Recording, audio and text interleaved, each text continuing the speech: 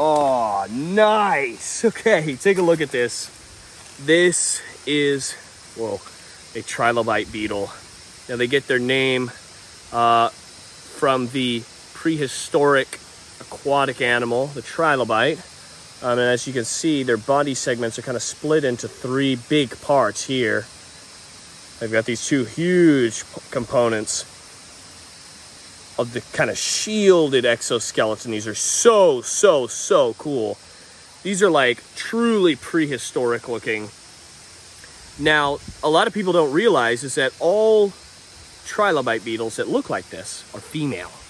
Um, and this is due to a very interesting cause. So the females are actually kind of trapped in this larval-like stage.